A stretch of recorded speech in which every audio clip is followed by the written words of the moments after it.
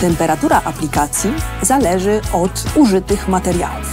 Po pierwsze, jeżeli mamy bloczki z betonu komórkowego albo bloczki silikatowe, to wtedy nasza temperatura może nawet być aplikacja minus 10 stopni Celsjusza.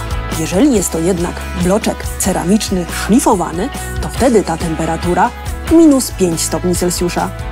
Ale zarówno przy jednych i przy drugich rodzajach bloczków możecie do plus 30 stopni Celsjusza używać pianokleju.